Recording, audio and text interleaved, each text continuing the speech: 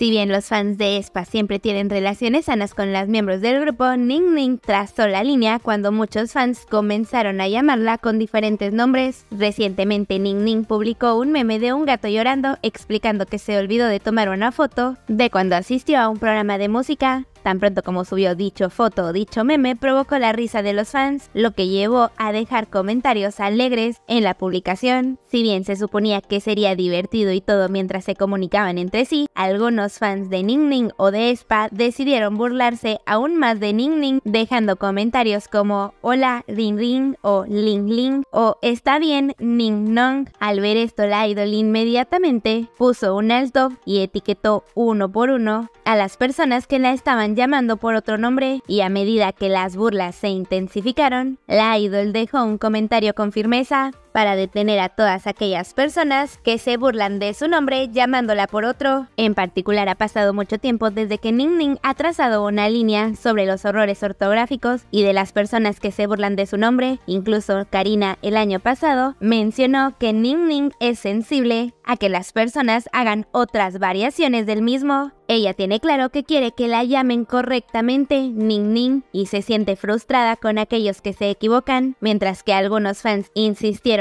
en que solo era una broma interna entre los fans, muchos partidarios de Ning Ning enfatizaron que esto no es una broma y que más bien es xenofobia descarada y una forma de racismo. Como idol del K-pop chino, llamarla Ling Ling y otras variaciones es sin duda una forma de falta de respeto, especialmente si se hace intencionalmente.